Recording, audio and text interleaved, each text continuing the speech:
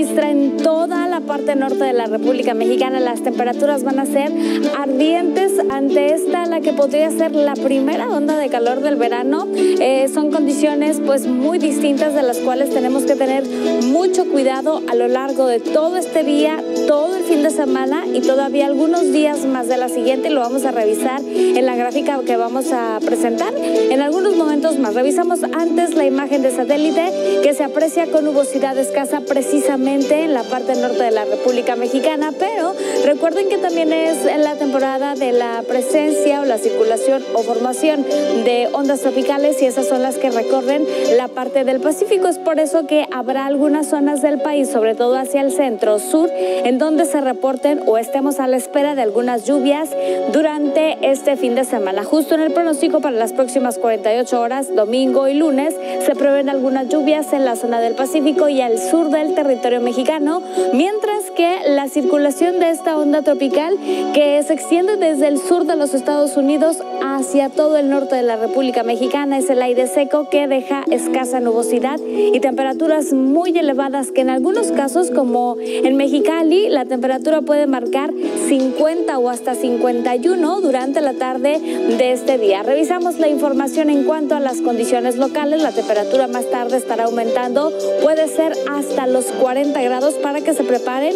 Va a ser una tarde caliente. Resumen, durante hoy por la noche se va a mantener un pronóstico muy similar con tiempo eh, pues estable pero muy complicado porque es muy seco. Las altas temperaturas hay que tenerle mucha, mucha precaución. Este pronóstico es extendido para los siguientes cinco días de una forma extraordinaria. Solo así podría variar la temperatura, pero hasta este momento se espera un domingo, lunes, martes, miércoles, jueves y hasta el viernes de la próxima semana con temperaturas de 40, 41 o hasta 42 grados como se prevé la tarde del próximo lunes.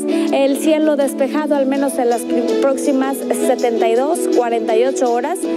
El martes, miércoles o jueves, nubosidad escasa, nada, ningún riesgo de lluvias hasta este momento en las condiciones locales y habrá que tener mucho cuidado porque desde muy temprano se van a presentar estas altas temperaturas o el ambiente caluroso con mínimas de 26 grados promedios y eso ya es decir y sentir sobre todo este ambiente cálido desde las primeras horas del día. Podemos hablar de un pronóstico de altas temperaturas o ambiente caluroso de tiempo completo para toda la semana y todo este fin de semana. Así que preparados también en la zona norte del estado, Anáhuac, en donde la temperatura puede tocar hasta los 43 grados hoy por la tarde. Mucho cuidado en Sabinas, 42 grados eh, la máxima. En China con 26 eh, temprano, 41 por la tarde, 40 en promedio para Cadereyta, Montemorelos, en Linares, en donde además esta mañana es de entre los 25 y 26 grados. Otra vez, es una mañana muy calurosa. Incluso para Galeana no lo es tanto, son 20 grados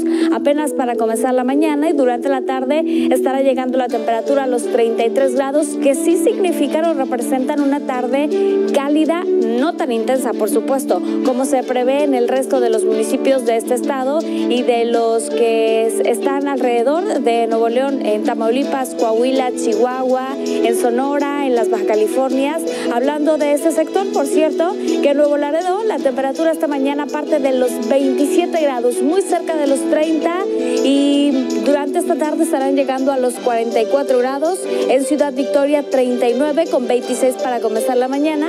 En Coahuila no se descartan las altas temperaturas, por lo menos en la capital, 20 para comenzar la mañana y 34 grados durante esta tarde.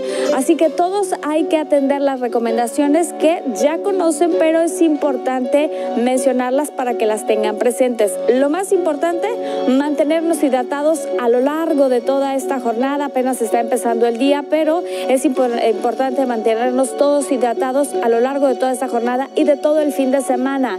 Si es que es necesario salir de casa, hay que protegernos de los rayos solares, vestir de preferencia con eh, prendas que no sean colores tan oscuros, de preferencia colores claros. Por supuesto, y usar esto que es eh, la gorra o los lentes, las gafas para pues evitar el contacto directo con los rayos de sol o que ayuden a protegernos de esto. Atender, por supuesto, a los niños y a las personas de la tercera edad. Muy importante incluso también es reducir en la mayor medida de lo posible las actividades al aire libre y proteger a las mascotas. Por, por supuesto, no hay que olvidarnos que incluso ellos eh, pueden eh, padecer estas altas temperaturas que prácticamente apenas están comenzando. Todavía nos quedan muchos días de temperaturas en los que la máxima estará llegando hasta los 40 grados. Es el resumen en la información del pronóstico del tiempo que les presento hasta este momento. Son 6 con 36 minutos.